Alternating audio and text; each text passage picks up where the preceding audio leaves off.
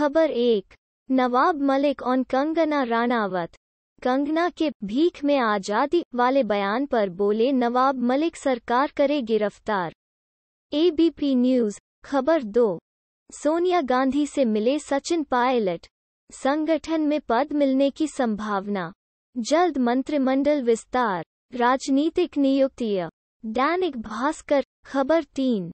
कांग्रेस नेता राशिद अलवी ने राम भक्तों को बताया, राक्षस। बीजेपी बोली, जनता सब समझती है। News 18 India. खबर चार। एमपी में बैन हो सकती है सलमान खुर्शीद की किताब। नरोत्तम मिश्रा बोले, आस्था को ठेस पहुँचाने का मौका नहीं छोड़ते आज तक। खबर पाँच। रिटायर्ड जज से लखीमपुर कांड की जाँच करवाएगी योगी सरकार।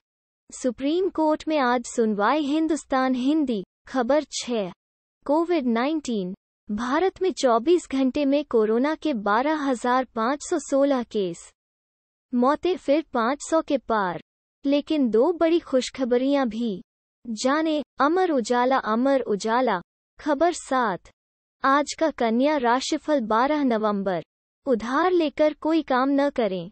जाने कैसा रहेगा दिन आज तक। खबर आठ। दिल्ली में बढ़ते पॉल्यूशन का नहीं दिख रहा कोई सॉल्यूशन। कई इलाके बने रेड जोन। इन दो इलाकों में बिगड़े हालात आज तक। खबर नौ। Nisha murder case. Wrestler Nisha Dahiya murder case में मुख्य आरोपी दिल्ली से गिरफ़्तार। हरियाणा एबीपी न्यूज़ खबर 10 पेट्रोल। Diesel price. कच्चे तेल के दाम उछले। यहाँ पेट्रोल डीजल के दामों में आठ दिनों से कोई बदलाव नहीं एनडीटीवी इंडिया ऑटोमेटिकली जनरेटेड